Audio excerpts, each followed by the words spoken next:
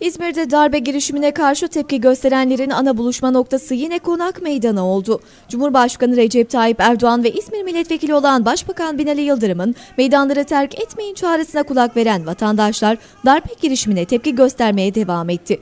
Ellerindeki Türk bayraklarıyla meydanlara çıkan vatandaşlar dik dur eğilme, bu millet seninle, darbeye hayır, demokrasiye evet sloganları atarken sık sık tekbir getirdi. İzmir Valiliği önüne kurulan dev ekranlardan darbe haberleri vatandaşlara seyrettirildi.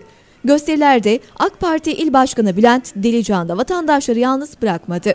Delican, Cumhurbaşkanı Recep Tayyip Erdoğan'ın çağrısı üzerine sokağa çıkan vatandaşların darbeye engel olduğunu belirtti. Kardeşleri unutma söylemeyi demişti. Semerkant da aramızdaymış. Onlar da hoş geldiler.